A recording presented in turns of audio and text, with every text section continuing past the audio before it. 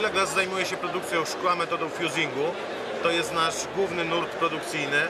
Oprócz y, szkła fusingowego zajmujemy się również produkcją szkła typu flot. Mamy pełne linie do obróbki szkła gładkiego, y, piaskarnie do piaskowania oraz lakiernie do malowania szkła. Nasza oferta jest skier- skierowana głównie do klienta ostatecznego. Zajmujemy się produkcją e, głównie drzwi, ale są to również przeszklenia, ścianki szklane oraz kabiny prysznicowe. Jesteśmy w stanie wykonać wzory indywidualne, wzory projektowane według e, wytycznych klienta, produkowane stricte pod niego. Jest to produkcja ręczna, e, czyli e, nasze produkty są niepowtarzalne przede wszystkim.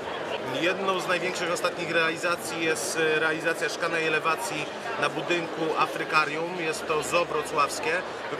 Wykonywaliśmy dla Zoo Wrocławskiego elewację ze szkła metodą fusingu o wielkości 200 m2. Sama waga szkła na tej elewacji przekracza 7 ton. Oprócz tego z ciekawych realizacji, na przykład dla Filharmo- Filharmonii y, w Opolu wykonaliśmy harfę, y, która jest w całości zrobiona ze szkła i równocześnie jest waterwallem, e, po którym spływa woda. Strona internetowa villa.pl e, na Facebooku również po wpisaniu hasła Villa e, nazwa, nazwa jest pisana przez V i 2L. Można nas znaleźć oczywiście w internecie i na Facebooku. Siedziba firmy mieści się w Krośnie, w województwie podkarpackim. E, U nas w firmie posiadamy wzorcownię około 200 m2, gdzie można zobaczyć nasze produkty.